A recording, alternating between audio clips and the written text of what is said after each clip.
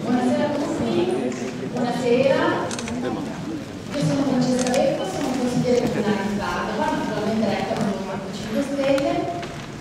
Sono fierissima e onorata di avere qui oggi un, un ospite per noi speciale, che è il vicepresidente Luigi Di Maio, il- e con lui il deputato Mattia Patinati e il nostro candidato Jacopo Berti. Prima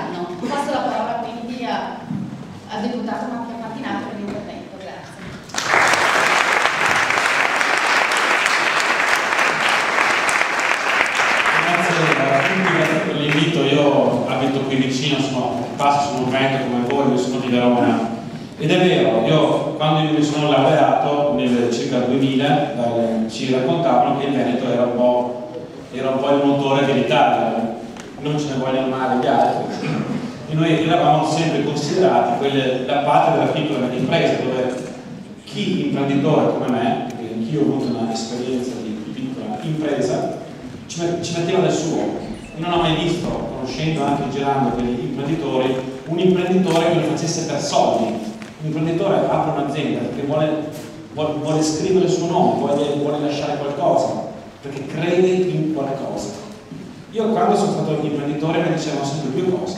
Il primo, che ero ricco sfondato, io vi assicuro che chi apre una propria attività, almeno la media, e co- e lavora i sabati, le domeniche, le notti, non è assolutamente, non lo fa per soldi, ma perché ci crede. La seconda mi dicevano che ero un evasore. Tu sei un professionista e quindi evadi le tasse. Questo era un po' un mantra che me raccontavano e alla fine la gente un po' ci credeva. Ma io vi assicuro che me, come tanti altri, la prima cartella equitaria che ho preso è stata di 45 euro la settimana scorsa, stato dal mio commercialista, l'ho preso per la giacchetta, poi è venuto in mente che me l'aveva fatta il commercialista della Camera dei Deputati. E quindi da qui si vede che capendo veramente, oggi mi hanno chiesto di parlare di Made in Italy, io mi sono sempre chiesto, ed è un lavoro che ho fatto nelle commissioni, nella commissione industria di cui io faccio parte, con altri anche i miei colleghi veneti, perché ci siamo chiesti appena arrivati in Parlamento perché le aziende se ne vanno via, perché le aziende delocalizzano.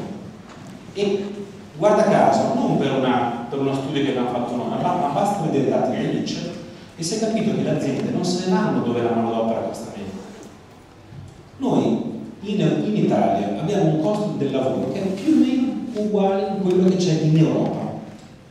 Il problema il cuneo fiscale, che al lavoratore in busta paga costa molto, riceve molto poco, perché le aziende non se ne vanno in Turchia, in Brasile, in Cina, qualcuno sì. La maggior parte se ne va in Francia, in Austria, in, uh, in Svizzera, perché là è molto più facile fare impresa. Friuli, esatto, in Friuli noi veneti molto se ne vanno nel Trentino, perché sono a, a, eh, è un po', anzi molto autonomo, e quindi quello che noi vogliamo dire era una delle nostre prime battaglie è che noi abbiamo detto una cosa che abbiamo portato nel nostro grazie al Movimento 5 Stelle, imprenditore, se tu te ne vai, più di dirti mi spiace, più di farti una, una classe cosa, diciamo una moral suasion perché tu rimani qua, perché si chiude di qua. Però se tu te ne vai dietro i soldi tuoi, nessuno può dire niente.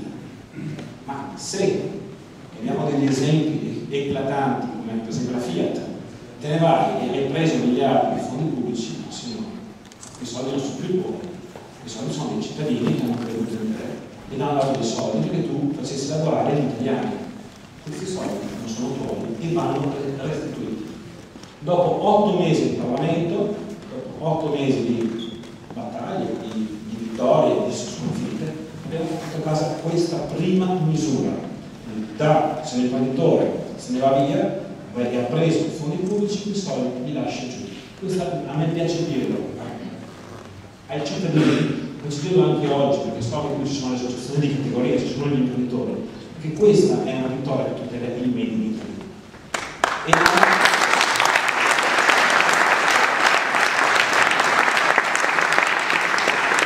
sono fiero di aiutare chi resta in Italia, sono fiero di avere un fondo con i miei stipendi per microcredito a chi fa del lavoro in Italia. Se si parla di Made in Italy, basta, ah, guardate, giusto per farvi capire, noi non siamo quelli sempre del nome.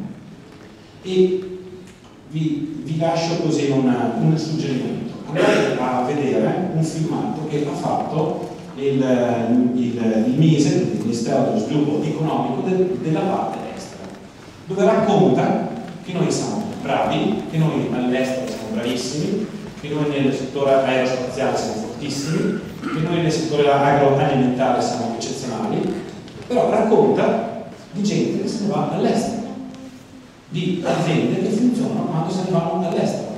Io vorrei invece raccontare e aiutare le aziende che rimangono qui, perché io dico, ma se, perché un'azienda deve andare all'estero per fare mercato?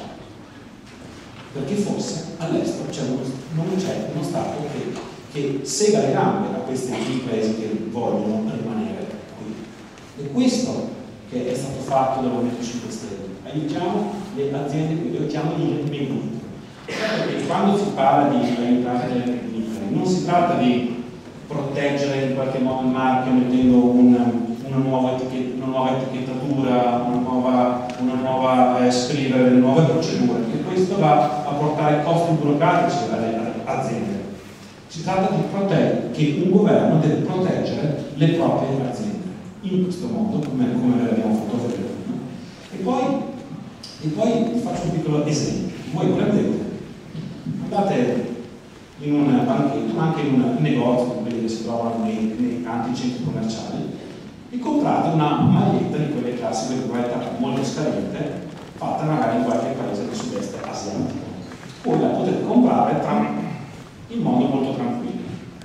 Voi prendete la stessa maglietta, questo ci hanno detto a Prato, quindi la parte della contraffazione, prendete questa maglietta, la stessa qualità, provate a venderla in Cina non entra questa maglietta per scarsa qualità nel mercato asiatico, perché c'è un mercato che protegge se stesso, perché vuole portare dentro, sì, ma vuole portare dentro cose di qualità. Allora io mi chiedo perché non possiamo fare la stessa cosa come noi.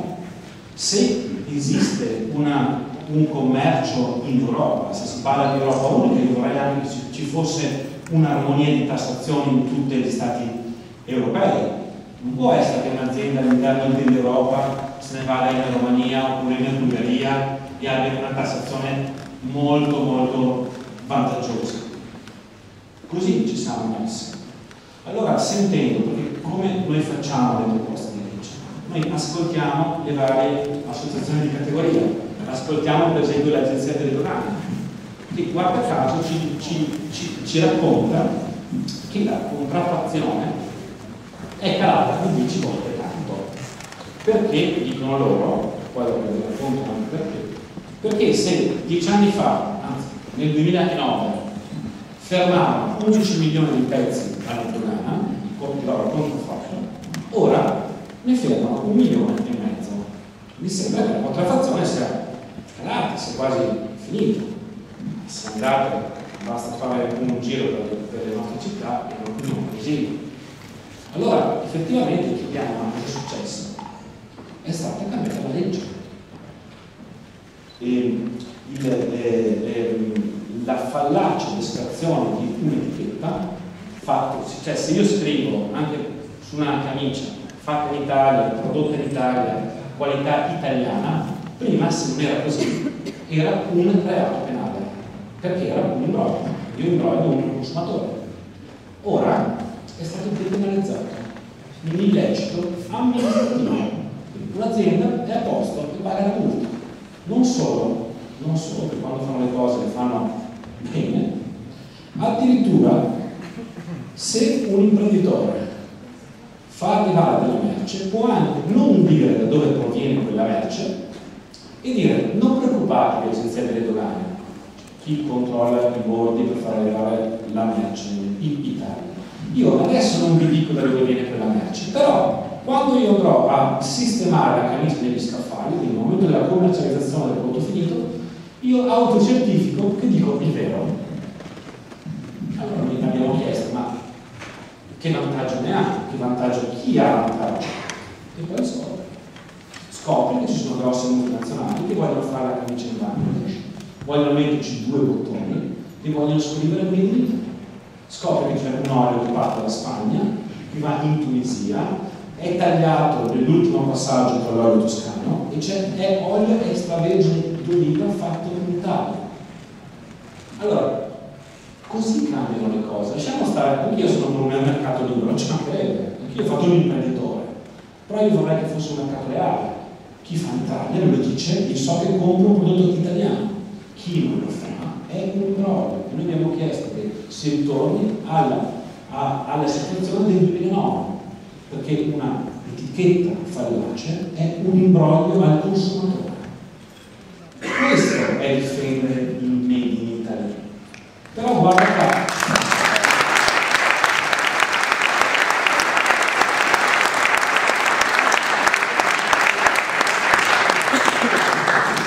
Guarda caso, guarda caso, come sempre, certe leggi vengono fatte non tanto per questa, l'articolo 18, non, non voglio entrare nel merito, ma vengono fatte per il 2%, 3% delle aziende nazionali io mi aspetto che un governo faccia le leggi per il 98% delle aziende nazionali, che sono le piccole e, e, e, e medie, non per le grosse multinazionali.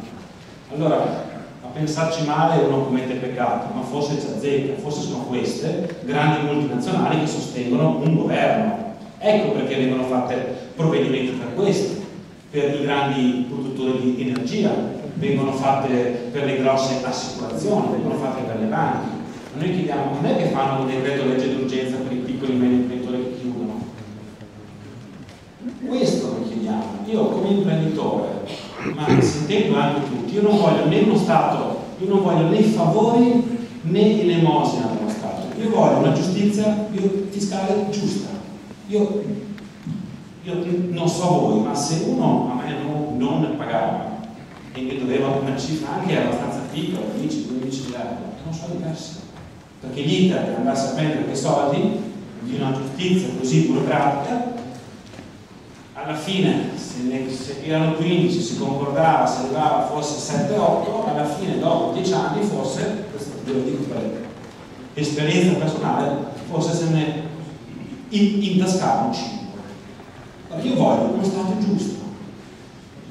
Io voglio, io voglio che uno Stato distingua questo l'abbiamo chiesto uno che non paga le tasse perché non ce la fa a pagare l'IVA, da uno che invece non paga l'IVA perché fa il furbetto e porta i soldi all'estero. Questo si chiede. Il governo sta depenalizzando il mancato pagamento delle tasse. Il governo dice che chi non paga le tasse sono dei criminali. Certo, le tasse devono essere pagate, ci mancherebbe, ma io voglio comunque che capire se uno non paga le tasse non perché vuole fare il furbetto, ma perché non ce la fa. E questa è una proposta di legge ferma in Commissione di Giustizia che non viene mai tenuta conto. Il nostro paese aveva, adesso ha un po', ha un po ridotto, aveva 90 miliardi di debiti con le aziende. Ora Renzi ha detto che, sono, che ha pagato tutto, a parte che doveva pagare tre mesi dopo che si era insediato e forse lì non ci credeva nemmeno lui. Ha detto che avrebbe pagato tutti i debiti a San Matteo, ma era uno spot un po' elettorale. Vespa, non sicuramente uno dei, uno dei 5 Stelle, gli ha consulito e ha detto signor Renzi, mancano 30 miliardi. No, no, ho pagato tutto, ha detto lui. No, no, mancano 30 miliardi. Effettivamente il Ministero del Tesoro ha detto mancano 30 miliardi. Allora come fa uno Stato che sanzionato dalla comunità europea come peggior pagatore di tutta Europa, come fa uno Stato a pretendere che le aziende paghino? Questo noi chiediamo. Quindi noi abbiamo detto, e io vi annuncio una grandissima, una seconda vittoria per Movimento 5 Stelle, va bene, non riesce a pagare tutto, possiamo anche capirlo, però signora mia, chi avanza dei crediti con la pubblica amministrazione e arriva una cartella di Italia, in qualche modo sospendiamola, perché molte aziende sono, molte aziende sono fallite perché, avevano, perché gli arrivavano delle cartelle di Equitalia ma dovevano ma non riuscivano a pagarle proprio perché erano dei crediti verso la pubblica amministrazione. Io mi chiedo se questa legge, diventata legge grazie al Movimento 5 Stelle, fosse stata approvata da, da quei professori e soloni di Monti, Letta, eccetera, forse qualche azienda non, non, non avrebbe chiuso nel migliore delle ipotesi, anche perché in qualche caso per qualche imprenditore è finita anche peggio. Allora ecco quando ci dicono voi venite qua e non siete preparati. Non è vero, noi le idee le abbiamo ben chiare. Io quando vado in giro per gli imprenditori mi chiedono sempre finanziamenti, ma quando arrivano i finanziamenti per, per questo settore? I finanziamenti hanno fatto uno studio che funzionano soltanto se dati in alcuni settori. Se io questo non lo vendo, ma finanzio le aziende che lo producono, io questo non lo vendo.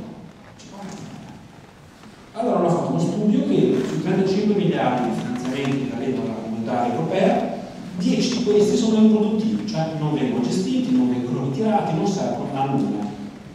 E tutti, aziende stesse, Confindustria stessa, Movimento 5 Stelle, insieme ci siamo seduti a tavolo e abbiamo detto cosa facciamo con questi finanziamenti che non vengono dati? E loro ci hanno detto toglieteci via, toglieteci le tasse, detto fatto, che io da due anni fermo commissione di finanza. Perché? Forse perché tutti avevano detto aboliamo l'IRA in campagna elettorale. Quanti governi dicono noi siamo contro il Made in Italy? Nessuno, nessuno. Però ora noi li vogliamo davvero alla prova dei fatti. Perché non viene calendarizzata quella legge? Perché? Allora se è quello, e chiudo, se Chiudo come ultima cosa, a me piace parlare molto di turismo, il Veneto è la prima regione italiana nel settore turismo, come per di Bari, in Venezia, nel Padre, abbiamo le Ville Venete, abbiamo le Dolomiti, abbiamo tutto. Ed è la prima regione in Italia. L'Italia purtroppo è passata come, come primo posto nel 2008, 2005, 2008, è passata al diciottesimo posto. Anche, anche come, come motivi anche per la cattiva gestione della politica, anche per la corruzione, anche per il cattivo sfruttamento del territorio. Polo industriale di Shanghai lo facciamo domani mattina in qualsiasi parte del mondo. Il Made in Italy, frutto di generazioni, i nostri prodotti, il nostro saper lavorare la pelle, il materiale, la ceramica, eccetera, eccetera. Quindi sono investimenti che durano da generazioni in generazioni. Non è la stessa quando vi parlano di produttività. Vogliamo investire su un'infrastruttura dove siamo carenti, siamo al 63 posto al mondo infrastruttura, fibra ottica, internet veloce per tutti. In alcuni stati europei, dove c'è la fibra ottica è praticamente tutta cablata, c'è il maggior tasso di sviluppo di start-up pro capite, perché la gente, le grandi multinazionali, vanno ad investire là, perché c'è un internet veloce. In quegli stati la burocrazia è ridotta all'orso.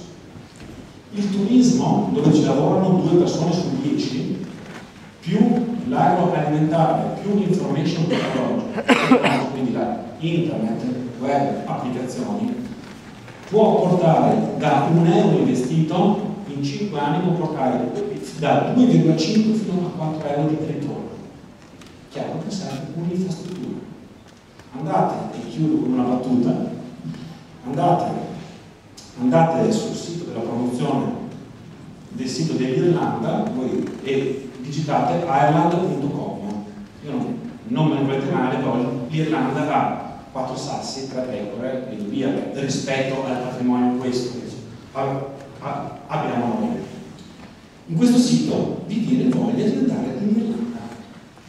Andate su www.italia.it, che è il suo fratello, costato 35 milioni di euro, mai funzionato, vi viene voglia di andare in Irlanda.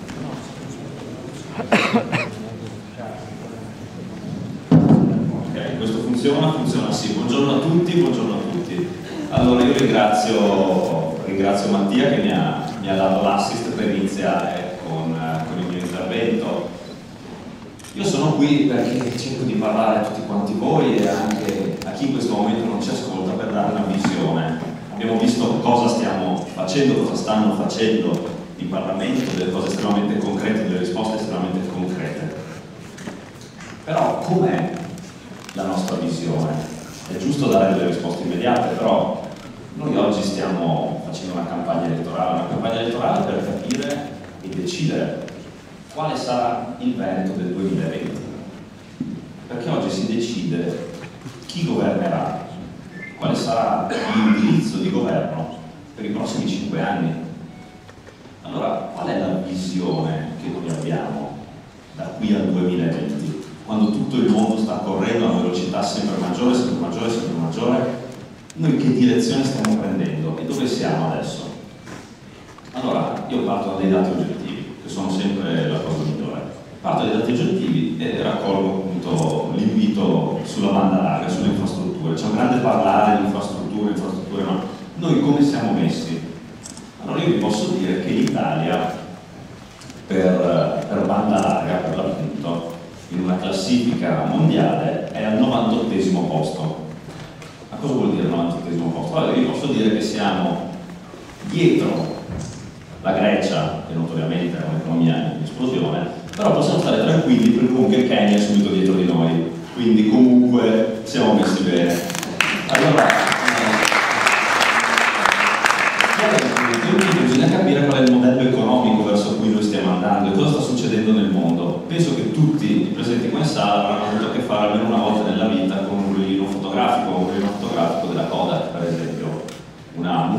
nazionale da 120.000 dipendenti era, aveva, era arrivata all'apice. Avete mai visto un rullino fotografico della Kodak ultimamente? Perché la Kodak nel 2012 è saltata. Perché è saltata secondo voi? Perché non ha saputo cogliere il cambiamento del mercato, non, ha, non è riuscita a interpretare qual, erano, qual era la metamorfosi velocissima che stava succedendo, nonostante fosse una mega multinazionale non è riuscita a stare al passo coi tempi. Dall'altra parte c'è una piccola aziendina con 13 dipendenti, 13, sempre nel 2012, è stata acquisita da Facebook per un miliardo di dollari. Nessuno la conosceva, si chiama Instagram. Allora, è qui che si apre la forbice del mercato. Qual è il modello che noi stiamo andando a inseguire come modello veneto? Se vogliamo pensare di rimanere ancorati a quello che è stata sicuramente la grandezza, come dicevi tu, per, per tantissimi anni, purtroppo le cose cambiano a velocità supersonica, al di là di quella che è la nostra concezione, e dobbiamo essere in grado, con le infrastrutture, per riuscire a rimanere eh, attualizzati. Allora oggi ci parlano di grandi opere, ma piano, cosa sono queste grandi opere?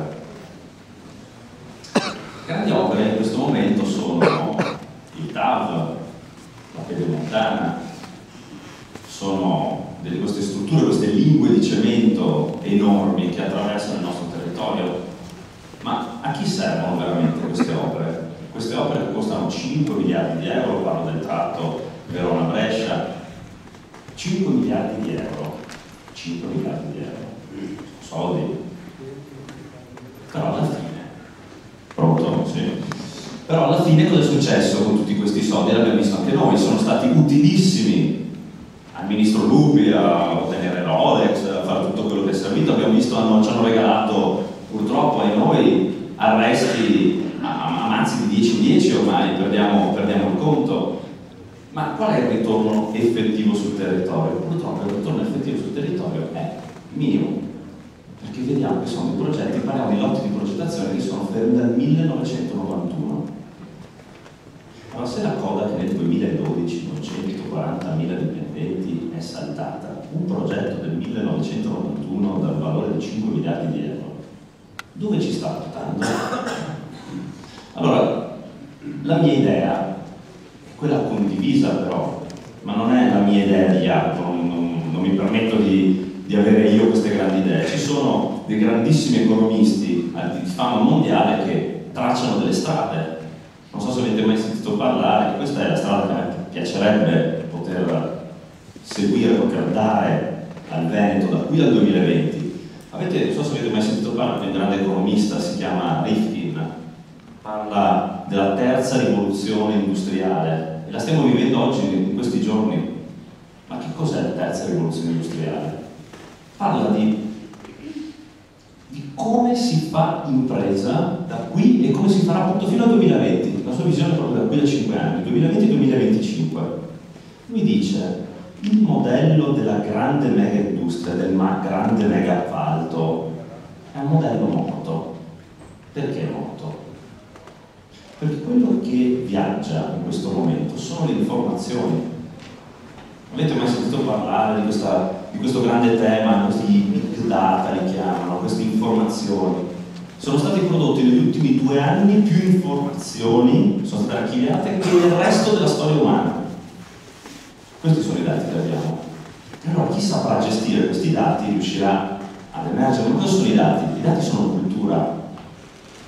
Allora, piuttosto che desertificare 300 ettari di Lugana a Verona per avere un treno che ci mette 5 minuti in meno tra Verona e Vicenza, noi possiamo avere la possibilità di esportare le nostre idee, i nostri cervelli, quello che ci rende grandi nel mondo, possiamo rendere, offrirlo a chiunque ed è lì la nostra vera capacità di fare impresa.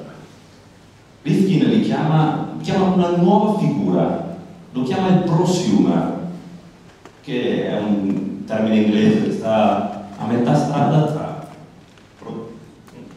tra producer e consumer. Cosa vuol dire? Vuol dire che uno si pone a metà strada tra produttore e consumatore. Tutti noi in questo momento siamo metà strada tra produttore e consumatore, se ci pensate. Quando scrivete in Facebook, quando usate Wikipedia, quando fate un video col cellulare lo condividete, finiscono poi in internet, vengono ripresi dai giornali. È una, è una lenta ma veloce evoluzione che sta subendo, che sta subendo l'economia. Bene, questo è il modo per far viaggiare l'informazione e le idee. Noi sappiamo che un euro speso in cultura, non lo dico io, è una, una ricerca della European House esposta dal Rosetta Forum, dice che un euro speso in, in cultura ha un ritorno di indotto di 2,49 euro. Allora è questa la nostra grandezza, avere la possibilità nei prossimi 5 anni di avere una, le infrastrutture, quelle che servono per fare impresa. Ma quindi quali sono queste infrastrutture? Io non ho dubbi, io non ho dubbi. Sono informazioni che devono far viaggiare le idee, la cultura, non farmi risparmiare 5 minuti, a me sono concesso che gli orari in Trenitalia siano, siano rispettati. Ma a chi servono allora? Torniamo alla nostra domanda iniziale, a chi servono questi appalti? Servono a noi che siamo in questa stanza, che abbiamo la nostra eccellenza, la nostra cultura, dobbiamo esportarli in tutto il mondo? O servono a chi fa queste grandi opere?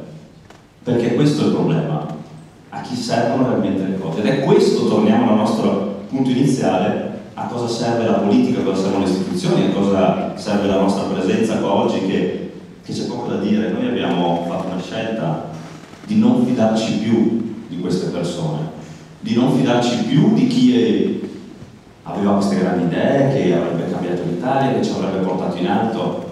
E allora abbiamo deciso di metterci in gioco per primi, di rimboccarci le maniche e di capire che se non erano gli altri a fare le cose, perché non le hanno fatte, oltre a non averle fatte, ci hanno anche portato dove siamo adesso, regalandoci dispiaceri ogni giorno, allora adesso è il momento nostro, ma non nostro di chi è seduto qua adesso, ma di tutte le persone presenti in questa sala.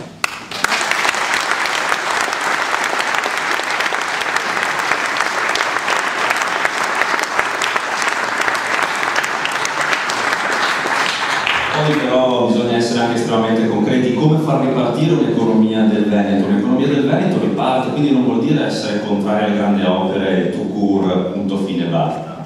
Abbiamo, abbiamo un'edilizia dove dati, dati, certi, dati del Cresme, che è un ente proprio di studio di, di, di tutte quelle che sono i sondaggi e tutti gli studi relativi agli architetti all'edilizia, mi, mi dice che i soldi meglio spesi in questo momento in edilizia sono soldi nella riconversione energetica e nella bioedilizia.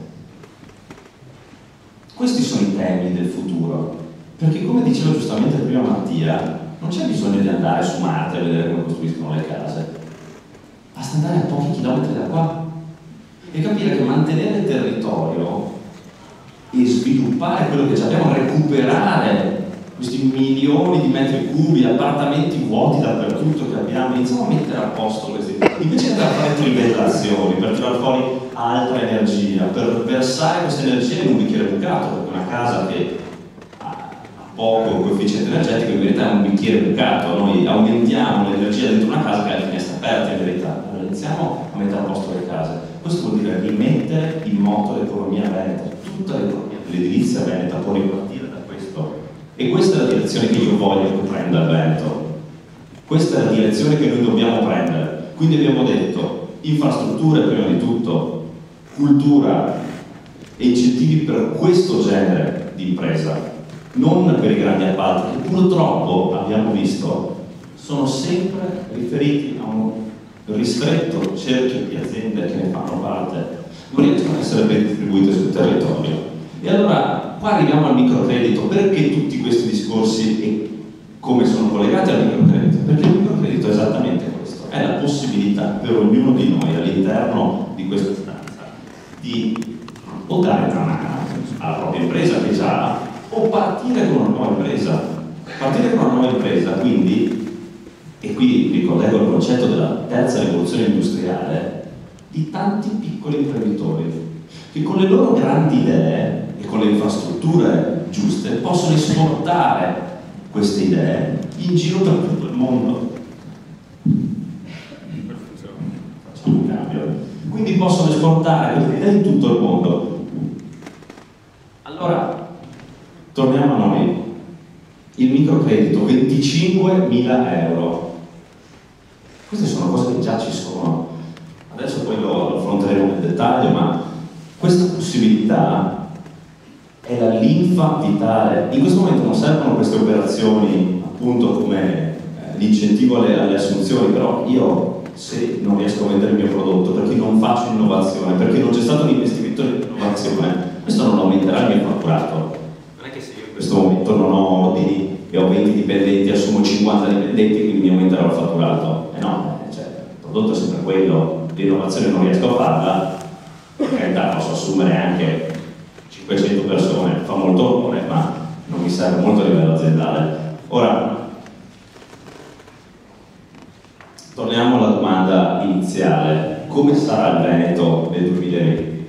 Il Veneto nel 2020 sarà, nella mia visione, e spero nella visione di tutti noi, di una visione condivisa, sarà un Veneto dove i cervelli arrivano e non partono, dove la persona è al centro e non le strutture o gli appalti, dove l'immigrazione sarà magari una scelta ma non sarà un obbligo, perché nel Veneto del 2020 non saremo più noi, e parlo della mia generazione in particolare, a dover essere costretti a emigrare, ma sarà chi ci ha portato in questa situazione a essere costretto a doverlo fare.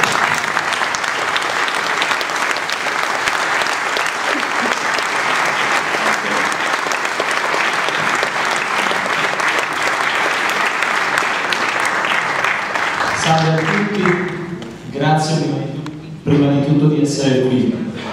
Credo di aver capito che se sto da questa parte non dovrebbe bloccarsi. Sono arrivato qui al nord due giorni fa, venerdì mattina, atterrando a Trieste. E sono stato ad Udine, a Pordenone, ieri mattina siamo stati a Bassano del Grappa io e Jacopo. Poi siamo stati a San Bonifacio, ieri pomeriggio, ieri sera sono stato a Biadana, stamattina Curtatone, Mantova e adesso sono qui. Ho incontri non è finita, domani mattina andiamo al Vinitali a salutare gli imprenditori che ci rendono, che ci rendono principalmente orgogliosi di questo paese, le nostre eccellenze nel mondo, una fiera che cammina sulle sue gambe, sulle gambe delle eccellenze che non ha bisogno di cemento a differenza dell'Expo di Milano, che non solo ci è costato 2 miliardi di euro come soldi pubblici, ma ci è costato anche diversi miliardi di euro in tangenti e la beffa è che è solo al 18% di realizzazioni a 39 giorni dall'inizio. Molte opere saranno consegnate tra 7 mesi quando l'Expo sarà già finito, tant'è vero che hanno dovuto fare un bando pubblico di un milione di euro per comprare dei cartelli per coprire le aree che non riusciranno a costruire. Sono delle grandi serigrafie su cui è disegnata la cosa che dovevano costruire. Eh, come diceva Crozza l'altro ieri sera, arrivi lì, chiudi gli occhi e immagini quello che dovevano costruire.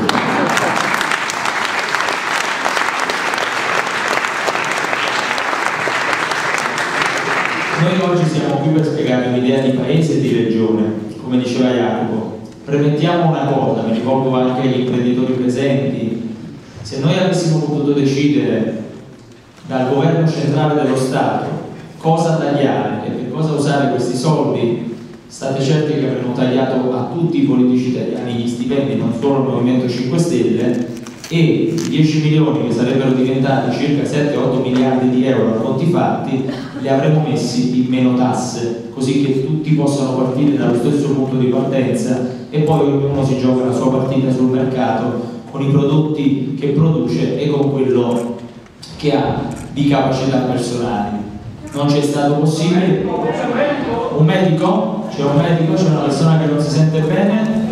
stavo dicendo una cosa che noi non abbiamo avuto la possibilità di farlo con una legge, ma non per questo ci siamo trincerati dietro la scusa che hanno utilizzato nei vent'anni, che è quella, eh, bisogna fare una legge per tagliare gli stipendi ai politici, bisogna fare una legge per eliminare le auto blu, bisogna fare una legge per eliminare i voli di Stato. Io sono d'accordo a tagliarli, però finché non c'è la legge me li prendo e li uso. Ed è questo che ci ha fatto arrabbiare un po' tutti, che ha fatto nascere questo movimento, la continua presa in giro, perché tutti quanti siamo le persone che sono qui, anche quelli che non votano il Movimento 5 Stelle, che non credono che sia un progetto credibile, per carità, ognuno ha la sua idea, però tutti quanti siamo quella generazione di cittadini che vedevano in tv alcuni politici parlare nei talk, nei TG e dicevano ma la soluzione a questo problema di cui stanno parlando c'è, è semplice, perché prendono sempre la strada più difficile e quella più dispendiosa di risorse.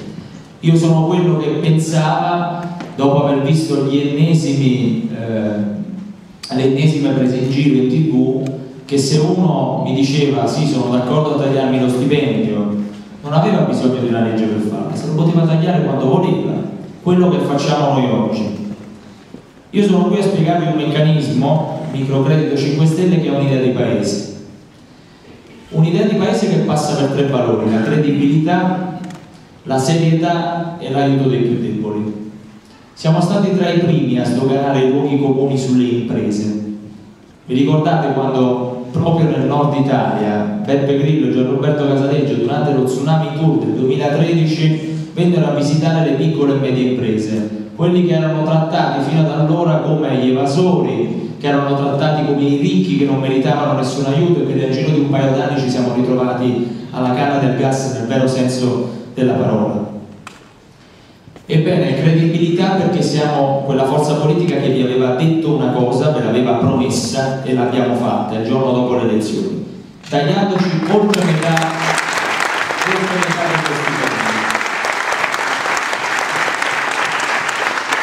Il vantaggio di votare il Movimento 5 Stelle, ora di là parlo a chi magari non è ancora convinto, è che il giorno dopo le elezioni hai sicuramente una forza politica che inizia a realizzare il programma elettorale. Lo so che è una cosa ovvia, ma le cose ovvie e normali in questo paese sono rivoluzionarie proprio perché siamo in un paese totalmente all'incontrario, un paese totalmente anormale.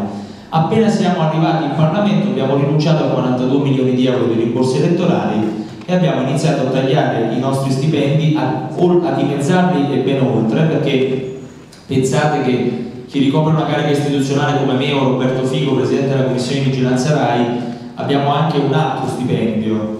Pensate che quando siamo arrivati alla Camera dei Deputati abbiamo inventato il modulo per rinunciare agli stipendi aggiuntivi delle cariche istituzionali perché il funzionario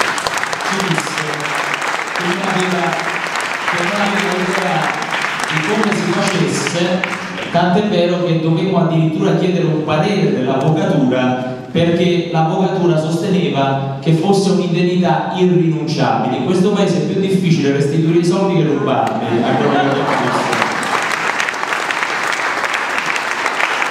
Quindi dicevo credibilità, serietà dello strumento. Noi abbiamo ideato uno strumento prima di tutto deresponsabilizzandoci, non abbiamo nessuna intenzione di gestire questi fondi e lo voglio dire, noi non abbiamo nessun potere di direzionare questi fondi in una direzione o in un'altra, semplicemente ogni mese entra sullo stipendio del vicepresidente della Camera, dipende dai mesi, 16.000, 17.000 euro netti, 20.000, dipende dai mesi, ogni, ogni mese dentro l'estratto conto ci sono voci nuove, ma quello che facciamo è rinunciare a tutti i rimborsi aggiuntivi e le indennità aggiuntive, dimezzarsi l'indennità e prendere tutti i rimborsi che non utilizziamo e che non rendicontiamo a voi e metterli su un fondo del Ministero dello Sviluppo Economico che era un fondo disattivato quando siamo arrivati noi per il microcredito alle piccole imprese italiane. Come funziona? In due anni noi abbiamo messo insieme 10 milioni di euro in una media di 140 parlamentari. I parlamentari veneti sono quelli che hanno restituito di più di tutti i parlamentari del Movimento 5 Stelle. Oltre Mattia con Giovanni Luci, senatore del Movimento 5 Stelle, ci sono gli altri che sono di questa terra, con questi 10 milioni di euro noi abbiamo attivato questo strumento, 25.000 o 35.000 euro di microcredito ad ogni impresa che ne fa richiesta. Ora noi avevamo un elefante, la crisi economica, dovevamo abbatterlo, potevamo pensare di sparare ovunque oppure di colpire solo in un posto.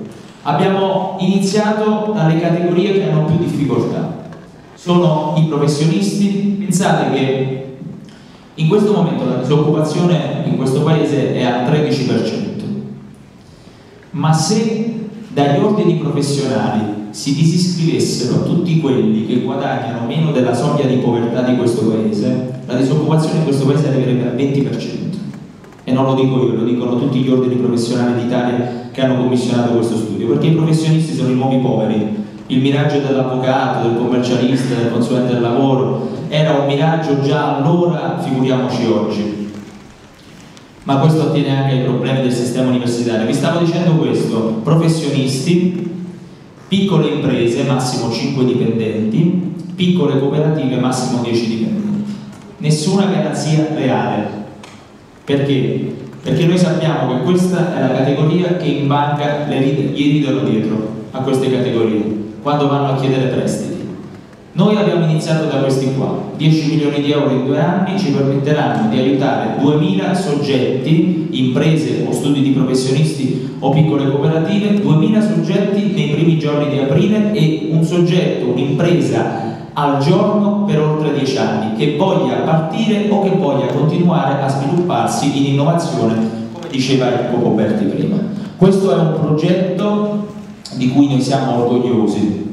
Non crediamo che risolva i problemi dell'Italia, sarei un disonesto se vi dicessi questo, ma sappiamo bene che se fossimo stati al governo e se andremo al governo di questa regione 10 milioni di euro diventerebbero 7-8 miliardi di euro perché noi abbiamo la credibilità per dirvi che se andiamo al governo tagliamo tutti gli sprechi e li direzioniamo nella scelta giusta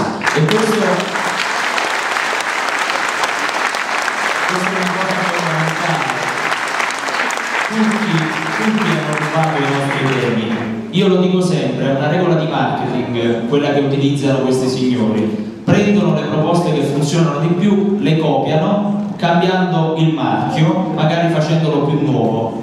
Nel 2013 eravamo noi la novità, nel 2014 il PD ha dovuto silurare Letta, se no all'europeo l'avremmo asfaltato, e ci mette il nuovo marchio, ma del vecchio sistema, Matteo Renzi. Poi arriva il nuovo marchio del vecchio sistema, visto che fa politica da quando avevo sei anni, Salvini. Adesso arriva un altro nuovo marchio che è Landini, ma di un sindacato che esiste da una vita qui e che non, ha, non è il responsabile nella crisi industriale di questo paese. Perché se in questo paese si sono vendute le teste dei lavoratori, è colpa anche dei sindacati e tutti i sindacati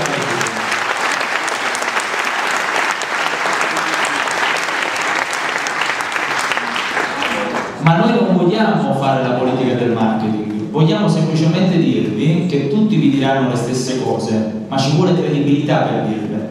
Credibilità significa che devi avere di fronte una forza politica che ha fatto quello che aveva detto, altrimenti non c'è credibilità. Ieri sera, ieri abbiamo letto le dichiarazioni eh, incidentalmente di una vostra candidata alla presidenza della regione, che non mi va neanche di nominare, che diceva che candideranno persone che devono dichiarare di essere incensurate, di non avere massimo due mandati, sono le nostre regole, però per carità ti fa piacere, il problema è che quella persona che lo dice è nel partito che nella mia regione in Campania ha candidato Vincenzo De Luca, condannato per abuso d'ufficio che per la Severino non potrà fare neanche il presidente di regione. Sono arrivati al paradosso che pur di candidarsi candidano a presidente di regione uno che quella carica non la può ricoprire.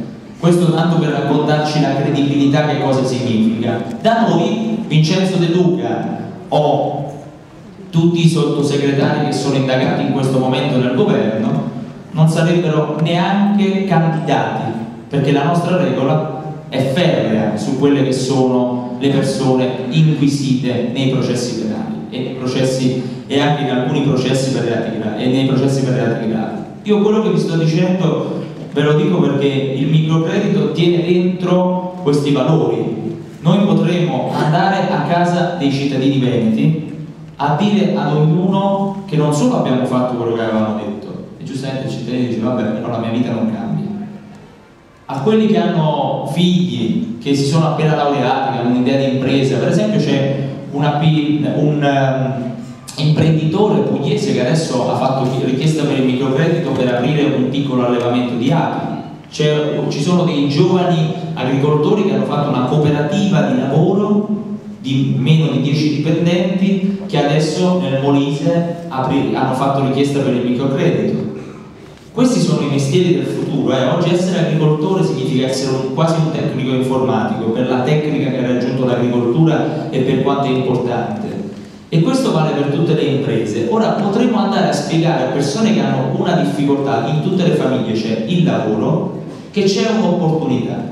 Io ho fatto il giro di queste città e ho visto una società che aspetta solo di essere incoraggiata. C'è un mondo lì fuori di piccole idee che aspettano solo un'opportunità. Noi con questo contributo vogliamo dare un'opportunità a quelle piccole idee per partire, un'opportunità che mai nessuno, a me che ho 28 anni, ma anche a molti di voi, è mai stata data. Uno Stato che prima ancora che partivi ti chiedeva le tasse, prima ancora che parti con l'impresa ti chiede di anticipare delle tasse, non sai neanche quanto guadagnerai, già ti chiede di anticiparle e prima ancora che parti ti chiede un atto notarile di diverse migliaia di euro. Tra l'altro, parentesi, grazie a noi è passato un emendamento, in realtà grazie ai colleghi di Mattia Fantinati e a Mattia Fantinati in Commissione Attività Produttive, che per le start-up innovative non ci sarà più bisogno di atti notarili per partire. Ora, quello, qual è l'obiettivo che ci poniamo col microcredito? Vi ho detto 2000 imprese solo ad aprile una al giorno per 10 anni. Speriamo di incoraggiare quelle parti del paese che in questo momento o soffrono oppure che hanno bisogno di partire in settori che sono all'avanguardia, anche se in tutto il resto del mondo sono già una realtà. Ricordiamoci che Berlino ha creato la Silicon Valley d'Europa in uno dei suoi quartieri con i migliori ingegneri italiani. E voi avete pagato con le vostre tasse la formazione di quegli ingegneri che stanno arricchendo un altro paese. E su questo io mi sento di dire che l'obiettivo minimo per il Veneto è aiutare 200 imprese nei primi giorni di aprile e almeno una al mese per i prossimi dieci anni ed è questo quello che ci sentiamo di assicurare facendo a conti fatti per le statistiche che abbiamo fatto e per le richieste che ci sono arrivate nei primi tempi. Non sono tutto, ma sono un punto di partenza importantissimo per cominciare a incoraggiare questo territorio. È ovvio che alle prossime elezioni regionali con lo stesso metodo possiamo continuare ad aiutare le imprese del Veneto. In che senso? Quando i giornalisti mi chiedono mi fa una previsione sulle sette regioni, io dico spero che avremo la prima regione governata dal Movimento 5 Stelle, abbiamo 10 comuni che vanno benissimo, magari su 7 regioni la prima del Movimento 5 Stelle. Quale sarà? Non lo so. I sondaggi che dicono non me ne frega, visto che il bene e il male non, hanno mai, non ne hanno mai azzeccata una. Io dico sempre una cosa, ognuno dei nostri che entra è uno in meno dei loro e costa la metà ai cittadini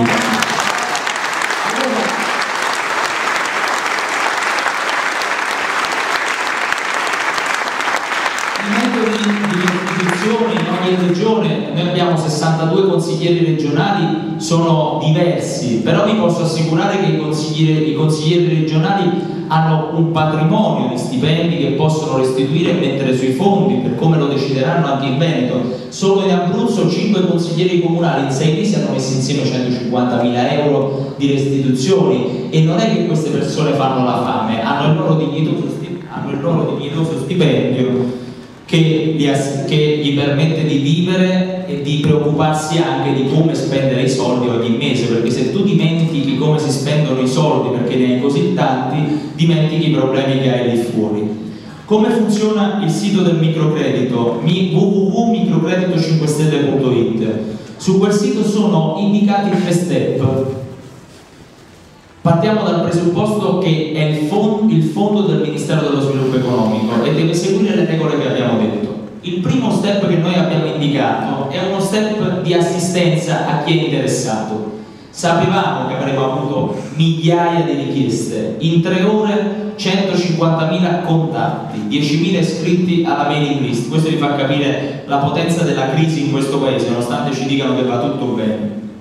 Bene, questi contatti noi avevamo bisogno di un'istanza sul territorio dove si potessero riferire, dove potessero andare. Abbiamo contattato i consulenti del lavoro, il cui ordine si è prestato gratuitamente a dare disponibilità di eh, assistenza alle persone interessate. In alcune regioni sta funzionando bene, in altre ci sono alcuni consulenti del lavoro che non sono disponibili, ma è secondario. Noi domani mattina pubblichiamo un elenco con tutti i consulenti disponibili per ogni regione, ma al di là di questo potete andare anche dal vostro professionista di fiducia. Sostanzialmente si tratta di scaricare un piccolo foglio A4 che c'è sul sito Microcredito 5 Stelle nel primo step, cioè clicca qui, è la circolare che spiega tutti i dettagli del fondo e andare da un professionista per dirgli guarda che cosa devo preparare in vista del secondo step. Che cos'è il secondo step? È un click day. Abbiamo ottenuto che la domanda si inoltri online, poi vi spiego perché.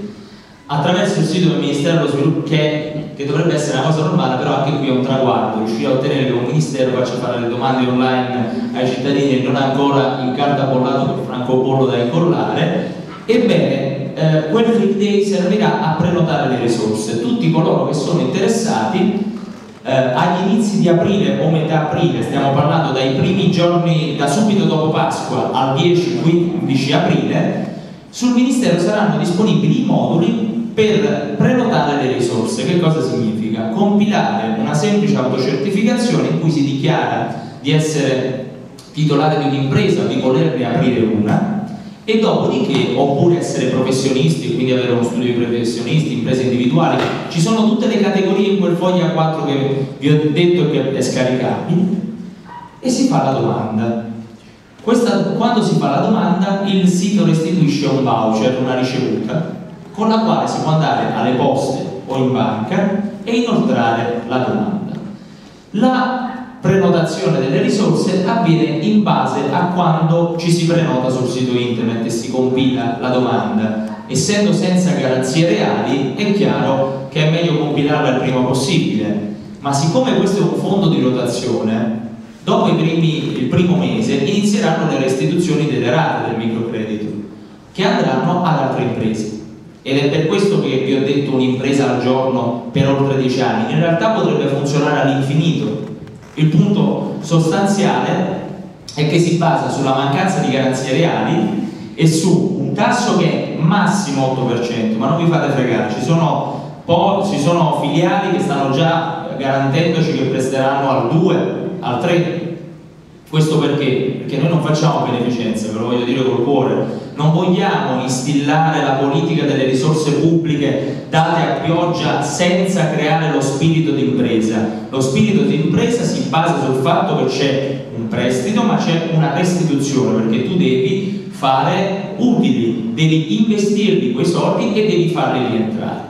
La cosa il terzo step è appunto quello di recarsi ad uno sportello di un intermediario, come vi ho detto, e iniziare il ritiro delle somme. Le somme saranno eh, finanziate nei sei giorni successivi alla domanda, perché non c'è da verificare null'altro se non l'idea progettuale. Ovviamente, parliamoci chiaro, l'80% del prestito non lo fa la banca, è garantito dal fondo nostro.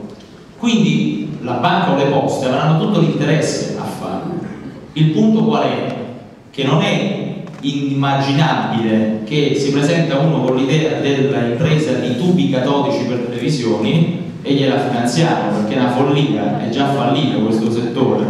È chiaro che invece può eh, una persona che ha già un'impresa, ad esempio, finanziare un progetto di innovazione interno Ora stiamo parlando del futuro, ma noi abbiamo già un laboratorio che sta funzionando di questo sistema, che è la Sicilia, dove i nostri consiglieri regionali, che sono stati eletti nel 2012, post attraversamento al nuoto di Beppe dello Stretto, se vi ricordate, hanno messo insieme in due anni e qualcosa, hanno messo insieme un milione e mezzo di euro, con i quali hanno fatto la stessa cosa che abbiamo fatto noi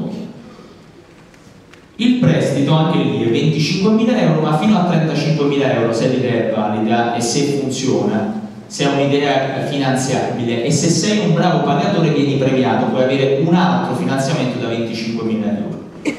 In Sicilia 32 sono state le start-up a partire con i microcrediti del Movimento 5 Stelle e poi non so quanti di voi l'avranno bevuta, io mai, la birra Messina aveva una storia importante in Sicilia, con un birrificio importante che è fallito qualche anno fa, che cosa hanno fatto i dipendenti? Si sono messi insieme in una cooperativa e hanno eh, fatto richiesta del nostro microcredito.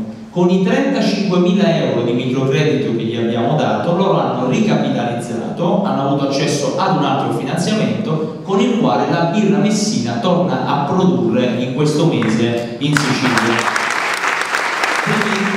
Quindi si è voluto anche esiste un laboratorio di prova che è la Sicilia sul quale le cose funzionano già. Quindi stiamo seguendo quel meccanismo perché è un meccanismo che ci garantisce nella riuscita del progetto. Non escludo che ci possano essere delle disfunzioni. Abbiamo saputo anche che addirittura ci sono dei soggetti che stanno chiamando persone interessate e chiedono soldi in cambio dell'accesso al microcredito del Movimento 5 Stelle che abbiamo già denunciato alla Procura della Repubblica.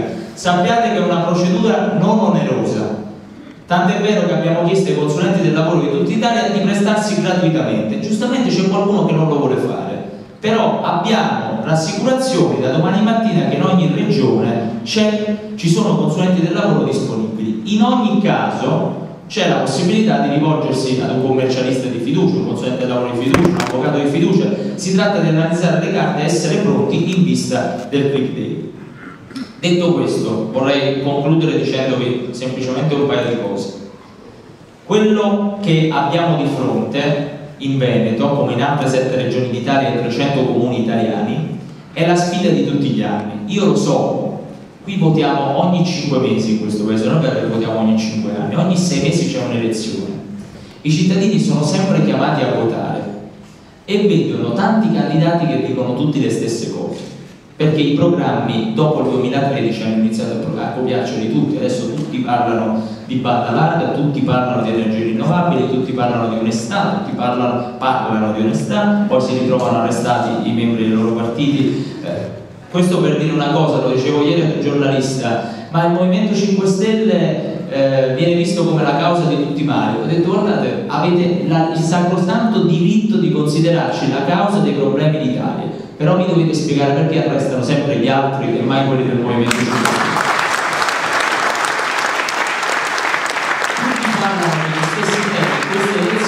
Ma pochi realmente li mettono in pratica.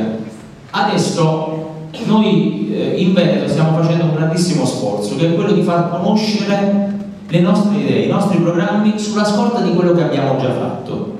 Io oggi vi ho raccontato del microcredito, ma se andate a vedere nei comuni dove governiamo, Equitalia già l'abbiamo cacciata, sono comuni Equitalia free, nei quali la riscossione è coscienziosa, cioè che significa che non puoi pensare che se un commerciante non riesce a pagare l'occupazione di suolo pubblico di 100 euro oggi, tu gliene possa chiedere come Equitalia tre mesi dopo 350, perché quello non ce li aveva ieri 100 e non ne ha oggi 350. Allora tu sei moroso, va bene, mi devi pagare, però il compito della politica in questo paese e mettere in condizioni quella persona di pagare, magari dilazionando la tassa e senza far maturare interessi usurari. Noi Equitalia la vogliamo abolire, la vogliamo cacciare dalle regioni dove c'è ancora, dai comuni dove c'è ancora e abbiamo la credibilità per dirvi questa cosa perché l'abbiamo già fatto nei comuni dove stiamo governando. In queste ore, in questi giorni si discute dello scandalo del Ministero delle Infrastrutture e dei Trasporti. Partiamo da un presupposto. Ercole Incalza era un soggetto che stava lì da 25 anni a gestire i soldi delle vostre tasse, quasi sempre in deroga al codice degli appalti, perché siccome dicono che si va troppo a rilento in quelle opere, opere inutili, alla fine si fanno i commissariamenti e si fanno gli appalti diretti, senza passare per le gare. La Procura di Firenze, che ha aperto questa grande inchiesta e ha arrestato questo Ercole Incalza, ha dimostrato che 10 miliardi delle tasse degli italiani e anche dei cittadini europei, perché una parte erano fondi europei, sono andati in tangenti. Pensate che l'IMU in questo paese vale 8 miliardi di euro, più dell'ammontare di quello che pagate in tasi oggi, vecchia l'IMU, costa in tangenti. Ma possiamo mai pensare che questo Ercole in calza era il senior pen che riusciva a fregare tutti quanti senza farsi scoprire. Era una rete. Una rete che si fondava su che cosa? Sull'amministrazione del potere al di là dei governi e al di là dei soggetti politici che c'erano nei ministeri. Nei nostri comuni funziona che la prima cosa che fanno i nostri sindaci è far ruotare i dirigenti, cosa che poteva fare Renzi, Letta, Monti, Lupi e i suoi predecessori, tutti i governi che si sono alternati al Ministero delle Infrastrutture e dei Trasporti potevano disporre la rotazione dei funzionari, facendo così tu aumenti le probabilità che ti ritrovi una persona che quel potere lo amministra da 25 anni. Oppure se Ercole in casa, come avevamo detto noi otto mesi fa, era una persona che si ritrovava 10 inchieste addosso, era l'ultima persona per fargli amministrare eh, 40-50 miliardi di euro a volta, no? Allora, che cosa fai? Esiste uno strumento, si chiama incarico di studio, col quale tu dici, guarda, tu hai fatto 25 anni di colorata carriera, ha detto, mettiti a studiare, non ti do più nessun incarico operativo perché abbiamo determinate ragioni per non dartelo. Niente di tutto questo è stato fatto. Qualcuno dice Renzi non sapeva, Cantone, presidente dell'autorità anticorruzione, non sapeva. Non sapeva, ma fino ad otto mesi fa, ragioniamo per assurdo, non lo sapeva. Ma otto mesi fa i nostri parlamentari, Michele Dell'Occo e Alessandro Di Battista, alla Camera dei Deputati hanno interrogato il ministro Lupi chiedendogli di rimuovere questo Ercole in calza e nessuno lo ha mai rimosso salvo poi, dopo che scoppiano le inchieste, vedete tutti questi soggetti politici come delle vergini che vanno sui giornali a dire ecco la soluzione a questo problema, da domani si farà così. Questa è una presa per i fondelli, otto mesi fa dovevate fare così. Dov'era l'autorità anticorruzione dello sceriffo Raffaele Cantone quando gli abbiamo segnalato questo? Allora la credibilità significa questo, noi facciamo? Perché conosciamo il problema del potere in questo paese, il potere è tentatore, l'alternanza, la regola dei due mandati che dobbiamo rispettare tutti quanti noi seduti a questo tavolo, per il quale dopo due mandati te ne vai a casa, perché il mondo da cui vieni è il mondo in cui torni e se non l'hai migliorato sono problemi pure tuoi, non solo di quelli che hai lasciato fuori dalle istituzioni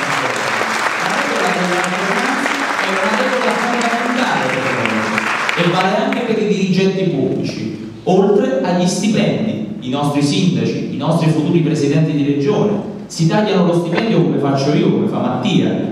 E queste persone che troviamo nelle pubbliche amministrazioni, non il dipendente, noi stiamo parlando dei dirigenti, a volte messi con lo spoil system, quindi senza concorso e poi stabilizzati, altre volte vincitori di concorsi di un'epoca in cui i concorsi erano un terno all'otto nel quale si vinceva solo chi aveva l'amico nella democrazia cristiana. Quindi quelle persone lì per noi non solo devono votare ma guadagnano anche molto e a Livorno dove c'è il nostro sindaco Nogarin solo grazie a questo fatto che hanno eletto un sindaco del Movimento 5 Stelle risparmieranno 5 milioni di euro perché ha deciso di dimezzare le indennità dei dirigenti comunali che tra l'altro per la legge Brunetta molti di questi dirigenti sono persone che autocertificano i propri meriti e quindi anche le proprie remunerazioni premiali. Cioè loro hanno dei bonus se sono produttivi che si autocertificano. Questa è stupenda questa cosa. La legge Brunetta il cui nome fa capire qual è l'effetto detto questo, vi voglio dire, vi sto raccontando queste cose per dirvi quello che abbiamo fatto, la credibilità con la quale oggi noi diciamo che se arriviamo in regione realizziamo un programma, un programma di innovazione, un programma che crea posti di lavoro, un programma che crea nuove imprese, ma che è in grado anche di convertire il tessuto, il tessuto economico di questa regione. Noi non siamo conservatori che pensiamo che quello che esiste deve restare per forza così com'è congelato. Il mercato si evolve, ma tu devi dare la possibilità a chi è nel mercato di potersi trasformare. È a questo che serve lo Stato. E allora cosa farà un presidente di regione del Veneto del Movimento 5 Stelle? Farà quello che vi ho appena raccontato e che è già stato fatto. Taglia gli sprechi e li direziona verso le risorse giuste Oggi siamo in un paradosso, gli 80 euro potevano essere una cosa buona, perché arrivavano nelle buste paga di persone che magari ne avevano bisogno, nelle buste paga di padri che avevano figli disoccupati, che ci pagavano la retta universitaria, che secondo la Picerno facevano spesa per un mese. Va bene, tutto quanto, non mi interessa, io non voglio criticare lo strumento, io voglio criticare la presa in giro, perché per coprire quegli 80 euro hanno istituito l'IMU sui terreni agricoli, hanno tagliato 8 miliardi di euro ai comuni e 4 alle regioni, che significa meno servizi per i disabili e più tasse comunali in questo paese. Quindi quegli 80 euro sono entrati dalla porta e usciti dalla finestra con gli interessi. E rispetto a questo, dall'altra parte abbiamo un governo che conferma una spesa di 12 miliardi di euro per i cacciabombardieri F-35. 12 miliardi di euro, ricordatevi sempre gli 8 dell'IMU, 10 miliardi in tangenti, 12 miliardi in F-35, 50 miliardi nel programma di manutenzione di questi aerei, 9 milioni di euro tagliati alla lotta alla criminalità nella terra dei fuochi perché li dovevano mettere per la sicurezza dell'Expo 9 miliardi, 9 milioni, altri 9 milioni che sono stati tagliati, altri 10 milioni che sono stati tagliati a quelli che sono gli artigiani che volevano affiancarsi giovani da formare. 500 milioni di euro tagliati al sud Italia per la formazione di giovani che in questo momento, ricordiamoci sempre, il finanziamento può essere sicuramente uno strumento di cui si abusa, ma se noi non ci togliamo dalle spalle, se la vogliamo puntare proprio sui soldi, se non ci togliamo dal carico del welfare statale i disoccupati e gli indigenti, questo paese andrà sempre a rimorchio degli altri paesi europei. Gli indigenti, i disoccupati, i NIT, nuove generazioni di cittadini che in questo momento non si formano, non cercano lavoro, di cui ci sono dei record in alcune regioni, sono persone che gravano sulla spesa statale, perché ricordatevi sempre che sono a reddito zero e quindi hanno una serie di agevolazioni che poi in servizi sono discutibili per come li fornisce questo paese e comunque ci costano miliardi di euro e se noi non riusciamo a metterli a dargli un'opportunità e riuscire a crescere da soli nella propria vita professionale, nella propria vita chissà imprenditoriale, queste persone continueranno a pesare sulla spesa pubblica e ad affossare la spesa pubblica di questo paese. Allora, dico tutto questo perché noi siamo convinti che questa rivoluzione gentile che stiamo portando avanti, una rivoluzione che passa per le regole democratiche, non per la sovversione, è una rivoluzione alquanto semplice. Se andassimo al governo di una regione o al governo di un paese, le cose che stiamo dicendo bastano dieci giorni per farle, non lo dico da spavaldo, perché quando hanno voluto 7 miliardi e mezzo di euro alle banche ne hanno passati in una notte. Io voglio passare 10 miliardi di euro o 16 miliardi di euro ai cittadini italiani.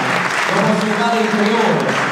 È questo il problema, lo dimostrano i fatti, è la stessa cosa, solo che manca la volontà politica. Da una parte avete uno che si chiama Tosi, che non so neanche se è il suo voto e quello della mamma, però viene osannato come uno degli statisti di questo paese. Da un'altra parte avete questo Zaia, che a me risulta sia stato ministro dei governi che ci hanno portato nelle fauci dell'Europa delle banche, quell'Europa delle banche che ha massacrato i vostri imprenditori e li ha costretti anche al suicidio. Sappiamo bene che cosa sono i parametri di Basilea che non permettono neanche più i finanziamenti agli imprenditori e le banche continuano a prendere soldi dalla BCE e in base a quei parametri non erogano quei soldi che arrivano dalla banca centrale agli imprenditori italiani. E dall'altra parte avete questa persona tre anni fa era vice sindaco, due anni fa era parlamentare italiano, un anno fa è diventato parlamentare europeo, adesso vuole fare il presidente di regione. Con la politica noi non siamo abituati a fare comparse, potevamo scegliere per esempio di mettere uno più famoso di Jacopo Berti, potevamo scegliere di prendere uno dei parlamentari che sicuramente conoscete di più del Movimento 5 Stelle e candidarlo a presidente di regione. Avremmo ottenuto probabilmente un'impressione migliore all'inizio, ma l'avremo pagata perché avremo tradito il mandato elettorale che ci avevate dato. Se una persona che eletta in un'istituzione,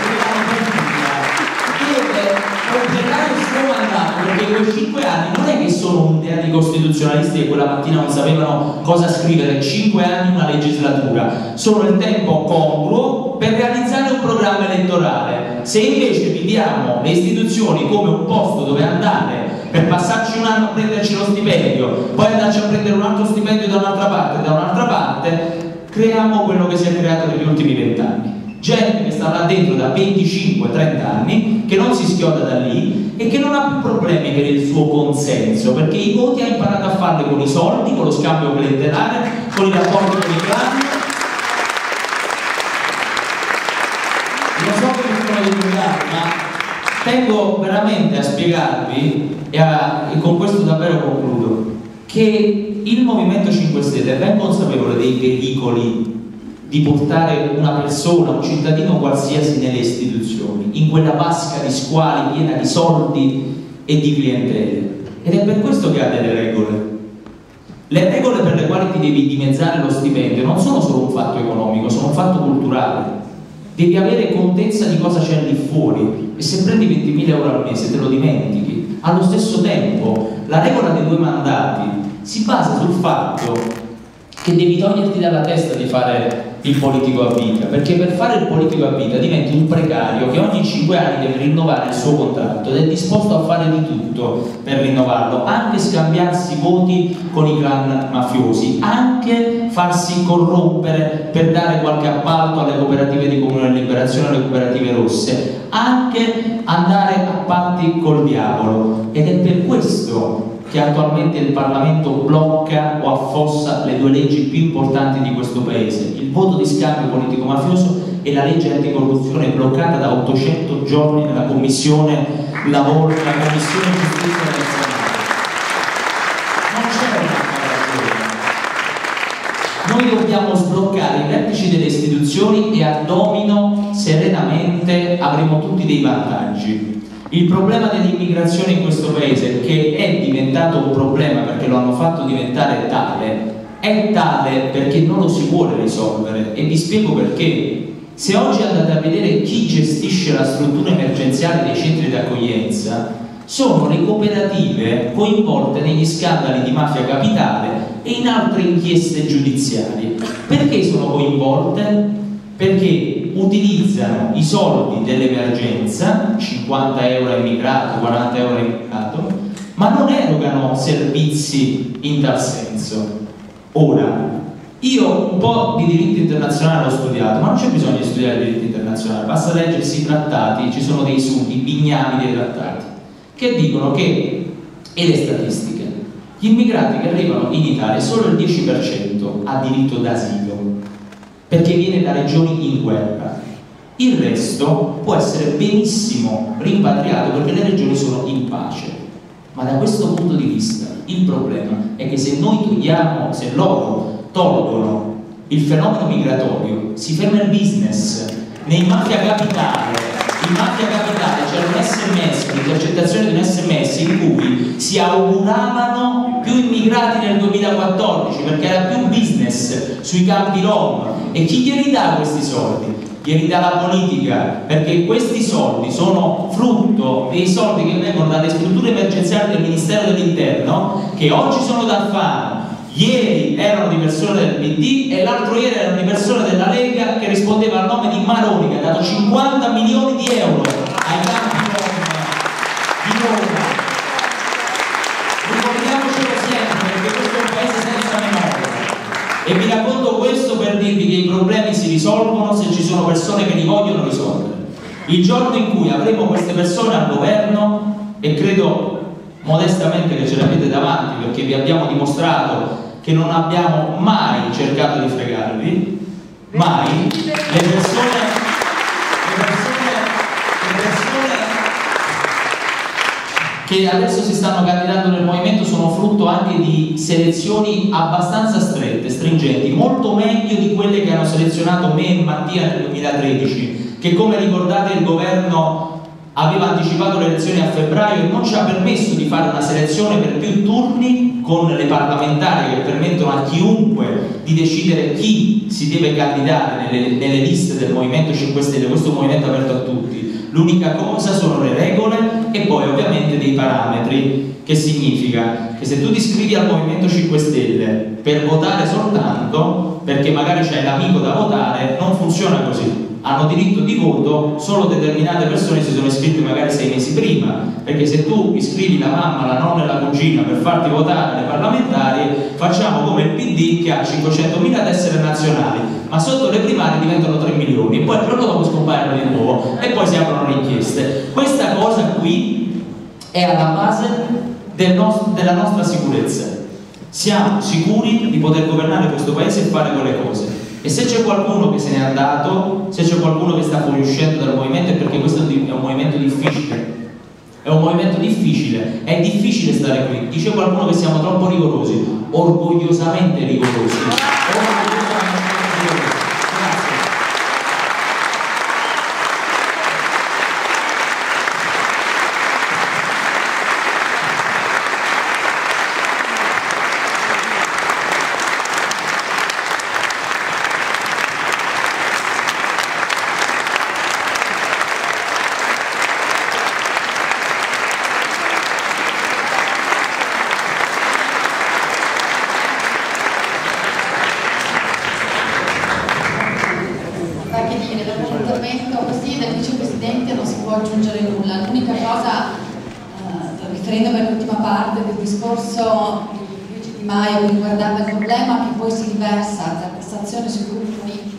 porto un piccolissimo esempio. Stiamo esaminando in, in, in, nelle commissioni comunali in questo periodo il bilancio di previsione 2015 del Comune di Padova e grazie a quel fintissimo federalismo fiscale voluto dalla Lega e realizzato malamente che ci ha portato a tassare a livello locale, ci ritroviamo oggi che però da una parte noi tratteniamo qua le tasse, dall'altra lo Stato di Renzi che aveva promesso una diminuzione ci chiede 35 milioni di fondo di solidarietà comunale, addirittura 5 in più dell'anno scorso. Non appena ci siamo insediati, io e il collega Piano Altavilla abbiamo cominciato a prendere in esame le voci del bilancio, abbiamo capito come questo Stato centrale tassa i comuni e poiché c'è una legge, la legge di stabilità che dice che il bilancio deve essere quantomeno sempre a zero, entrate e spese sono sempre a zero, non, non è un bilancio come quello dei privati che può essere anche in perdita. Abbiamo visto che per sopperire a queste richieste, quest'anno sarà identica la cosa, si va a tagliare. I settori che ne risentono di più sono il sociale e la scuola, perché anche quest'anno ci saranno ulteriori indicazioni di tagli da questo sindaco leghista che è stato un senatore della Lega e che oggi, e che sostiene Zaia, e nelle file di questa giunta ci saranno assessori che si candideranno con Zaia, viene a raccontarci che lui risparmia, che lui salta fuori dal nulla, presentano degli slogan, parlano di onestà, parlano di, che non hanno effettivamente mai realizzato in questo modo. Quindi la demagogia la leggiamo proprio nel concreto, la leggiamo ogni giorno quando vediamo quello che succede proprio all'interno dei nostri comuni. Se adesso per uh, finire, terminare questo momento, chiederei se ci sono degli interventi eh, da parte di qualcuno, se si vuole prenotare, eh, o viene qui e le passo il microfono, se sentiamo tutti la domanda, oppure alza bene la voce.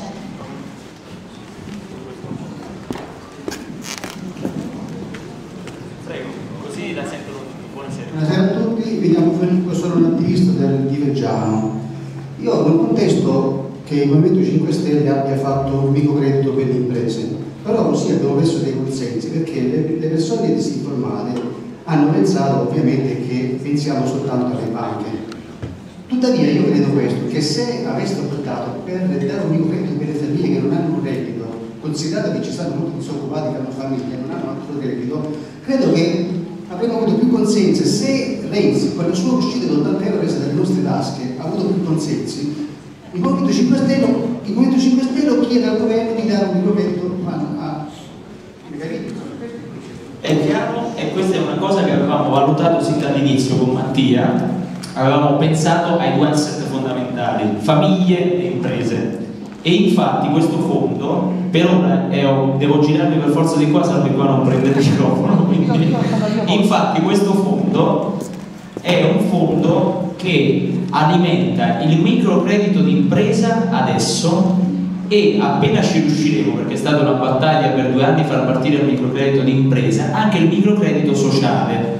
Come funziona il microcredito sociale? Si rivolge alle famiglie che hanno o disabili a carico o che hanno o che hanno disabili a carico oppure che hanno ehm, avuto problemi tipo la cassa integrazione del capofamiglia o la mobilità del capofamiglia. Il microcredito sociale afferisce al Ministero degli Affari Sociali. Noi abbiamo lavorato col Ministero dello Sviluppo Economico, più che altro abbiamo combattuto col Ministero dello Sviluppo Economico dopo due anni per far partire questo fondo qui, Microcredito 5 Stelle Penso, però non mi sento di fare né annunci né promesse, che se ci lavoriamo bene per l'estate parte anche il microcredito sociale, dove direzioneremo le restituzioni da qui al 2018. Io spero che questo governo cade il prima possibile, ma se c'è una cosa... ma se c'è una cosa che può andare bene del fatto che dura fino al 2018 è che sono 10 milioni in due anni, altri 15 milioni da qui al 2018 che possiamo creare microcredito sociale. È una formula che è contenuta in una legge dello Stato. La cosa assurda è che io qui vi sto venendo a pubblicizzare una cosa che è scritta in una legge del 2012, testo unico bancario si chiama. Ma in questo testo unico bancario si istituiva per la prima volta il microcredito sociale in Italia che proprio si rivolge alle famiglie e addirittura crea un'assistenza eh, alle famiglie in difficoltà per tutta la durata del credito ricevuto, cioè c'è un uh, dipendente del ministero o dell'ente competente che fa lezioni di economia domestica, che spiega come utilizzare quei fondi perché non essendoci le garanzie reali abbiamo il problema che può trasformarsi in una beneficenza a fondo perduto cosa che non vogliamo fare perché come avete visto la responsabilità di chi prende i soldi nel restituirli alimenta un'altra impresa e un'altra impresa. Quindi è un sistema e il microcredito sociale funziona così. Non siamo riusciti a farlo partire ancora perché abbiamo deciso di puntare prima le nostre risorse in, in, termini di sforzi, perché abbiamo dovuto incontrare i funzionari del Ministero, poi abbiamo incontrato i viceministri, poi abbiamo incontrato i funzionari del Ministero che abbiamo spiegato come dovevano scrivere questo regolamento attuativo, ma la legge esiste già e quindi il, micro, il microcredito sociale partirà. Vi dico anche questo però, chiariamoci un attimo, il microcredito sociale è sempre l'alternativa che noi abbiamo perché siamo all'opposizione ma se io fossi in maggioranza, se Mattia fosse in maggioranza, se il Movimento 5 Stelle fosse in maggioranza, non farebbe il microcredito sociale, ma farebbe il reddito di cittadinanza. Che significa? Che significa 780 euro al mese per obbligare una persona ad essere formata lavorativamente e a rispondere positivamente, accettare tre proposte di lavoro che gli fa lo Stato. Questo strumento, noi abbiamo visto anche un po' no, l'humor nella società italiana, è, è pieno di pregiudizi, perché ci dicono questa è una misura assistenzialista. Partiamo da due presupposti. Prima di tutto, tutti i giovani italiani che stanno emigrando all'estero lo stanno prendendo, perché esiste in tutta Europa. Io ho tanti amici, eh, anche amici che sono di Milano, che, con cui abbiamo lavorato insieme tempo fa, quando anche io ho fatto il cameriere, e adesso se ne sono andati negli, in Inghilterra perché hanno detto guarda a fare il cameriere qua, vado a fare lì. Poi ci siamo scritti qualche email e loro dopo sei mesi avevano perso il posto di lavoro, erano in due. Lo Stato inglese lo ha contattato, li ha, li ha contattati e ha detto guarda hai eh, in questo momento diritto al sussidio statale in cambio di formazione per i lavori che ti chiediamo noi e allo stesso tempo ti chiediamo necessariamente una eh, garanzia che tu ti impegni ad accettarli anche il lavoro che non ti piace, non il lavoro della tua vita, anche il lavoro che non ti piace. Alcuni di loro si sono formati come eh, saldatori, adesso stanno lavorando sulle piattaforme petrolifere, altri si stanno formando come artigiani. Quello che cosa fa lo Stato? praticamente toglie dal welfare sociale quella persona e la mette nel mondo del lavoro. Intanto gli dà 780 euro al mese. Sul reddito di cittadinanza io vorrei eh, passare la parola a Giovanni Endrizzi che è eh, senatore della commissione sociale che si, che si occupa di questo tema e che può anche spiegarmi in generale cosa stiamo facendo sulle questioni sociali. Lui poi è particolarmente punto di riferimento per noi per la lotta al sta divorando le persone più disperate del Eh, Dobbiamo capire che cosa significa non solo per le famiglie ma anche per gli imprenditori se ripartono i redditi e ripartono i consumi. Prima Mattia diceva andare a sostenere un'azienda che poi non vende quel prodotto non è un buon affare. Però bisogna distinguere, non lo vende perché non è un buon prodotto o perché in Italia è calata e crollata la capacità di reddito. Perché con questa noi abbiamo un danno economico sulle aziende, abbiamo un danno sociale perché i ragazzi non hanno più investimento emotivo nel futuro, non si impegnano più perché non hanno speranze, non hanno opportunità. E questo lo dico a corollario, spesso cadono vittima del gioco d'azzardo, non hanno più, anche dal punto di vista culturale, pedagogico, l'impulso ad impegnarsi socialmente nella scuola, nel lavoro, nell'impresa e si aspettano qualche cosa dalla fortuna. Oggi chi ha letto i giornali locali ha visto il caso di un ragazzo che insieme a tre suoi compagni è andato a rubare nella cassa della macelleria del padre per andare a giocare alle slot. Ecco, noi dobbiamo invertire questa rotta, dobbiamo dare ai nostri giovani la convinzione che lo Stato investe su di loro, scommette su di loro e loro devono giocarsi le loro carte, non andare a giocare a carte. E quindi il reddito, il reddito di cittadinanza è un supporto che ha un progetto di studio, è anche un supporto a una startup, perché nei primi tempi che io avvio un'azienda, un'impresa, un'attività, non ho reddito, lavoro in perdita, è bene il finanziamento, ma nel frattempo devo mangiare anch'io. Allora voi capite che queste sono misure che non servono eh, a dare eh, a pioggia un, un contentino magari clientelare perché lo diamo ad alcuni e che fa comodo a noi sappiamo che la mafia lucra sulla povertà, sappiamo che i partiti lucrano sulla povertà perché aumenta il valore di un lavoro preso con raccomandazione. Allora se noi diamo reddito di cittadinanza, rimettiamo insieme l'economia, rimettiamo insieme la società, rimettiamo insieme i giovani e diamo uno slancio. Questa è una manovra di espansione e di coraggio verso il futuro. Io ringrazio, ringrazio Mattia, ringrazio eh, Luigi perché ne hanno parlato in maniera, eh, ci tenevo a darne uno spunto eh, anche dal punto di vista proprio del, del rifar ripartire la fiducia.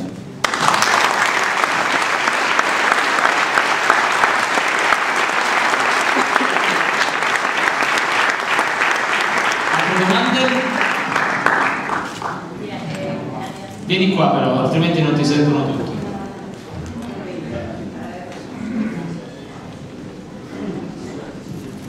Ah, aspetta, allora abbiamo due persone, una volta. Sì, sì, eh, buonasera a tutti, sono il presidente dell'Ordine dei consulenti del lavoro di Padova e quindi persona direttamente coinvolta in questa iniziativa. Innanzitutto una congratulazioni al Movimento 5 Stelle perché questo, questa iniziativa veramente ha, ha, fatto centro, perché sono eh, eh, invaso di telefonate dalla mattina alla sera e la mia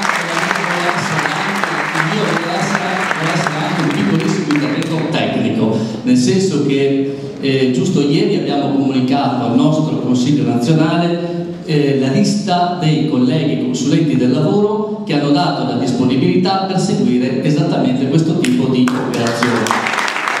Questa lista sarà, sarà disponibile credo nei primissimi giorni della prossima settimana e sarà sufficiente collegarsi al sito eh, dei consulenti del lavoro nazionale e lì la potrete accedere con grandissima facilità. Mm, chi eh, cerca il sottoscritto non, magari che non sono riuscito a rispondere eh, a tutti quanti perché veramente non so dove hanno trovato il mio nome perché probabilmente nel sito del Movimento 5 Stelle non lo so ma non sono riuscito a rispondere a tutti vi do queste informazioni in modo tale che possiate essere tranquilli che i consulenti del lavoro hanno risposto hanno risposto positivamente e ripeto, dalla prossima settimana sono a vostra disposizione e solo in provincia di Padova sono circa una ventina. Se per caso avrete ancora difficoltà dopo che avrete eh, sentito i colleghi, allora potete tranquillamente scrivere una mail al nostro ordine che vi daremo tutto il supporto necessario. Grazie. Se posso dirvi una cosa, all'inizio avevamo un po' sottovalutato la portata dell'iniziativa microcredito, per questo con l'ordine nazionale ci eravamo esclusivamente limitati ad inserire le sedi e i numeri di telefono delle sedi provinciali, quindi l'indirizzo delle sedi provinciali. Il giorno dopo ho dovuto fare un appello, liberate i consulenti in ostaggio perché c'è stato un assalto, quindi vi vorrei ringraziare, ringrazio il Presidente a nome di, tutto, di tutta la categoria che stanno facendo un grande sforzo per riuscire a dare risposte immediate ai cittadini interessati. Noi non saremo stati in grado di farlo, non abbiamo una struttura così competente e radicata sul territorio come ce l'hanno loro. Grazie Presidente. Allora, io intanto ringrazio tutti quanti, tutti gli onorevoli, per questa grande opportunità e, e credo che siamo nel 2015, è ora che ci sia un cambiamento. Quindi, ecco, allora io ringrazio tanto per il microcredito, sia questo per le imprese, sia quello sociale, che ci voleva perché ormai siamo, non, non ce n'è per nessuno, non ce n'è per nessuno, è ora che si faccia qualcosa, mi dispiace per tutte quelle persone che insomma è andata come è andata e non voglio entrare in particolari, ma è ora che si faccia qualcosa, che si aiutino tutte le persone possibili. E ci voleva, e ci voleva, io ricordo qualcuno dice vabbè, eh, Beppe Grillo, ecco, lo ringraziamo perché è venuto anche qua a Padova, ecco, e ci voleva proprio un movimento così, dico 5 Stelle, per arrivare a dove siamo arrivati. Ringrazio questo movimento perché sta facendo e deve fare e continuerà a fare, suppongo, con ecco, tutto il bene possibile. Eh. Allora, grazie ancora per questa opportunità e che sia un punto di partenza per andare sempre meglio.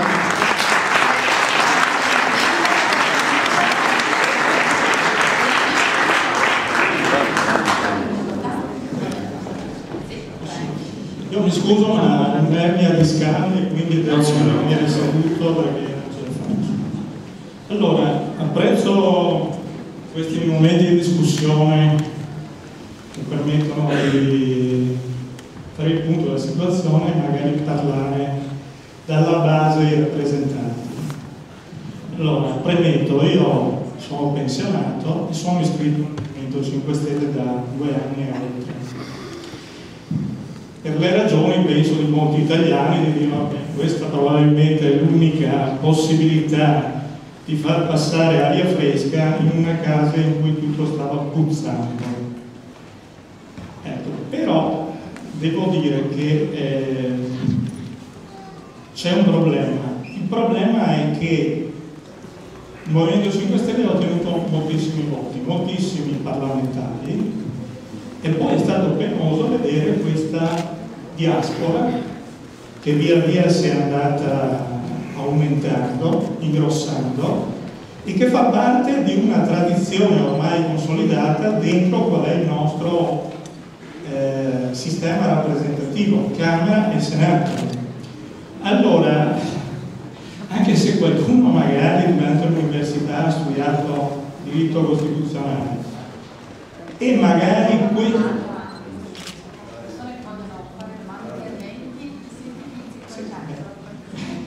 concetto è molto chiaro. Allora la nostra Costituzione prevede per evitare questi errori che sono garantiti dall'articolo 67 della Costituzione uno dice ma perché non si raccolgono 500.000 firme e si fa dire davanti al popolo sovrano se l'articolo 37 può essere mantenuto o meno.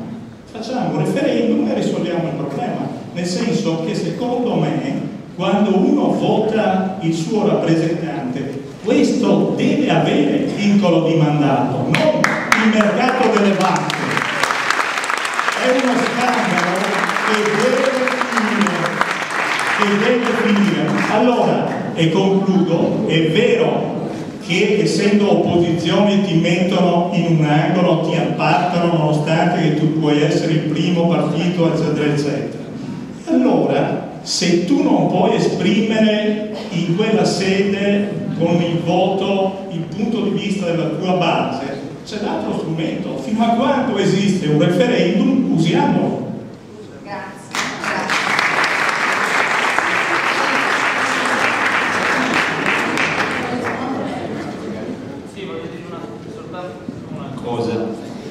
Prima di tutto, ecco, no, giusto per, perché sono abituato a mettere sempre in dubbio le mie convinzioni, il referendum abrogativo di cui parlava lei ha dei limiti, tra cui, eccolo qui, non è possibile per le norme costituzionali. E questo è il problema. Per quello che so io. Comunque, al di là di questo, per me, io sono d'accordissimo con lei, veramente fino alla morte. Le persone che entrano in Parlamento da una forza politica non possono passare ad un'altra forza politica o al gruppo misto. Di volta Gabbana ne abbiamo già avuti abbastanza. Detto questo, detto questo, ci sono tanti strumenti. Noi, per esempio, imparando dalla lezione del Parlamento italiano, in cui io ve l'ho detto prima, dobbiamo migliorare gli strumenti di selezione ma anche di controllo. Noi, per i parlamentari europei che abbiamo eletto a maggio, abbiamo istituito lo strumento del recall.